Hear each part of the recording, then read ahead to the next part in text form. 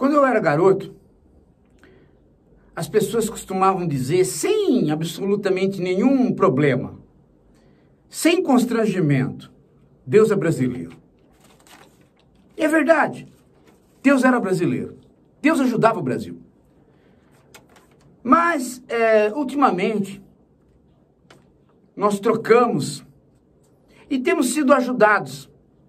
Temos sido ajudados, sim, mas pelo demônio. O patrono do Brasil se transformou. E hoje nós temos muita ajuda, mas é do diabo. Veja só, eu até marquei aqui para não errar. Ao contrário do que se imaginava, só o Ocidente sofreu o impacto da Covid. A própria China não sofreu o impacto esperado da Covid ela continua crescendo. Menos, mas continua. E continua comprando commodities do Brasil e do mundo e salvando o mundo. Salvando. Porém, para o Brasil, essa salvação é a salvação do demônio. Veja só o que aconteceu com o Brasil. O nosso PIB caiu 5% agora nesse trimestre de Covid. 5%. É uma queda violenta, gente, para um trimestre. Sabe o que aconteceu com o agronegócio? Ele cresceu 1,6 na crise. E ele tem exportado absurdamente. E o nosso PIB só não se arrebentou por conta dele. Nós vendemos para a China mais soja, muito mais do que vendíamos. Nós vendemos para a China mais café, muito mais do que vendíamos.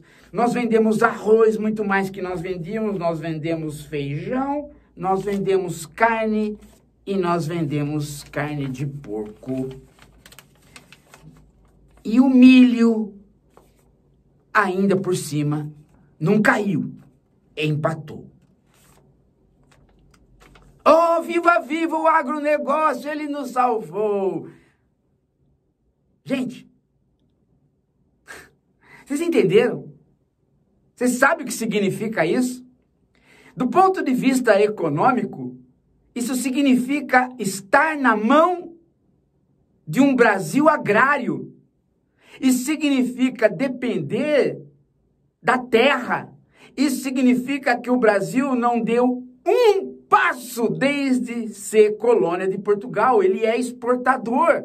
De quê? De gêneros de primeira necessidade. Mas que qualquer país pode também fazer. Até países com terreno pequeno, dado a tecnologia. Portanto, a qualquer momento nós podemos ser descartados.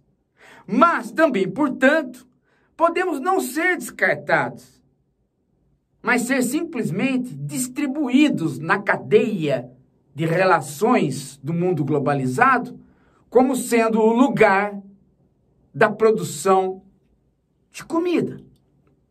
O que significa uma sociedade agrária, portanto, uma sociedade que não precisa de escola, portanto, uma sociedade que pode viver um nível de vida abaixo, muito abaixo dos outros países. É uma opção? Não, é um destino trágico.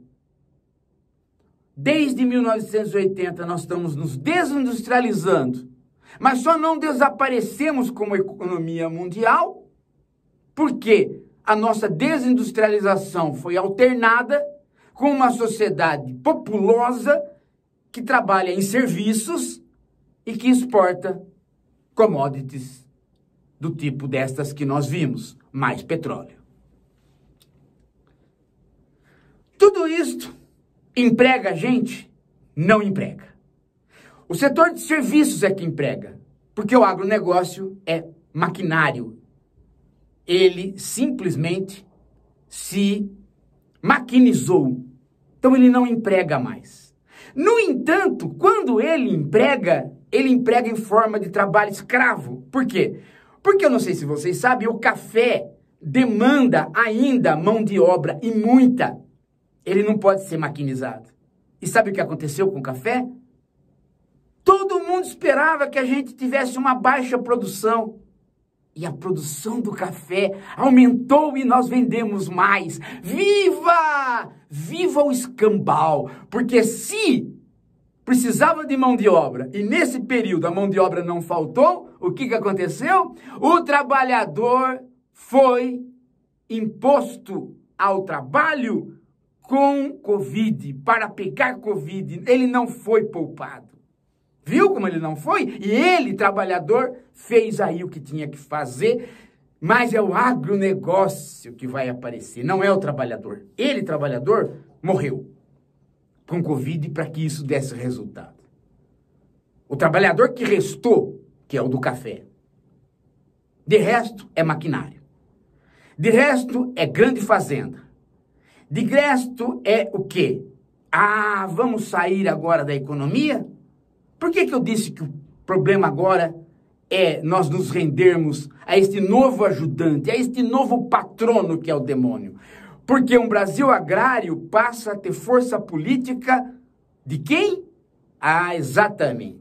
São os caiados, né? Ou seja, a classe política que ascende não é mais a burguesia industrial, mas a classe política que ascende é a do agronegócio, a mais reacionária, a mais conservadora, a que representou sempre a direita, fomentando a bancada da bala, fomentando a bancada evangélica, porque no meio rural a bancada evangélica permanece ali ferrenha, e fomentando a tomada de terra dos índios e fomentando aliança com outros capitais para a exploração de minério e a invasão de terra. O agronegócio também fomenta a pulverização de agrotóxicos, sem medidas. A queimada sem medidas. E no Congresso, Mato Grosso, Goiás, começam a crescer. E São Paulo também. Sempre localizado onde?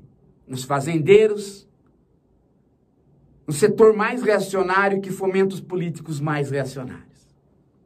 O Congresso vai se tornando conservador à medida que o país vai se tornando agrário.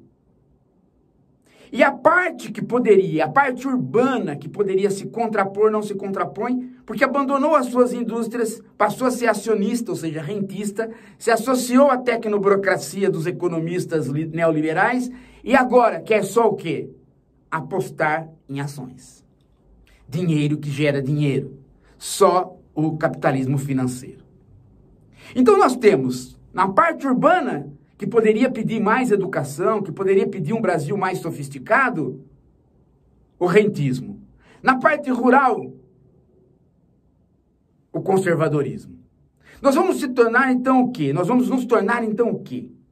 Um país agrário, com uma classe política reacionária, porque vem do agrarismo, com um setor de serviços enorme empregando toda a população e com um setor de indústria minguado optando pelo rentismo. Voltando ao setor de serviços, ali estarão todos os trabalhadores, mas não terá ali nenhum trabalhador. Por quê? Porque para ser trabalhador não é possível só trabalhar, é preciso saber que é trabalhador. E a autoimagem do trabalhador hoje é de empreendedor ou de investidor. Convenceu-se todo mundo que não existe mais trabalhador. É a implantação do neoliberalismo como ideologia. Vamos nos salvar, mas vamos ser uma sociedade bem pior do que aquela que projetamos nos anos 50 e 60. Se continuarmos assim. Talvez seja por isso que Fernando Haddad e Ciro Gomes apareçam no cenário como excrescências. Porque um defende o trabalhismo e o outro defende os trabalhadores. Mas trabalhismo precisa de quê? De trabalhadores. E defender os trabalhadores precisa de quê? Também de trabalhadores, óbvio. Onde estão? Não estão mais em lugar nenhum. Haddad, Boulos, Ciro, Dino, Todos eles estão ultrapassados. Ou eles entendem essa realidade e entram para um movimento de politização para voltar a convencer os trabalhadores de que eles são trabalhadores, ou eles vão ser engolidos pela ideologia de classe média que está invadindo os partidos de esquerda, vejam aí, Bagulho Bocheche, eh, Gabriela Piolho, sendo pessoas que, né, é, são ouvidos pela juventude. Ou então, né, se eles não forem invadidos pela classe média, eles vão simplesmente ser partidos vazios. É triste o fim da esquerda se ela não perceber esta análise. É triste o fim da esquerda institucional. Mas há uma outra esquerda. Há uma esquerda reflexiva que somos nós. Há uma esquerda que quer politizar. Há uma esquerda que está sabendo desse movimento do capital e do destino do Brasil. Há uma esquerda que somos nós, que sabemos que Deus nos abandonou e que nós abraçamos o diabo. Então, nós, desta esquerda, vamos começar a des, desamarrar o diabo de nós.